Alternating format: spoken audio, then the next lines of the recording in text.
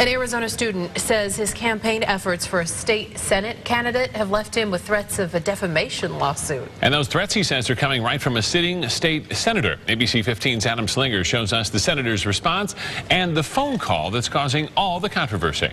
With fellow students standing in support, 22-year-old Tony Valdovinos took on the pressure of politics, accusing a state senator of threatening him with a lawsuit.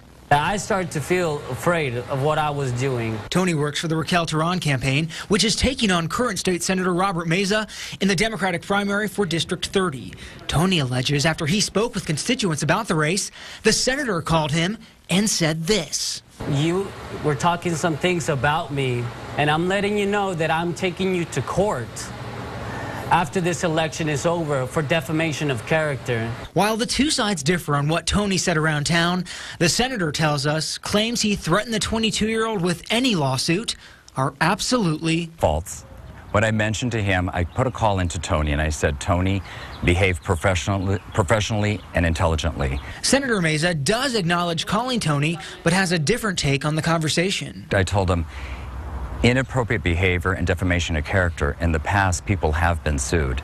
And I said my recommendation to him is to proceed with truths. While it's a case of he said, he said, Tony is staying focused on fighting for his candidate of choice. This is not about him. This is not about me.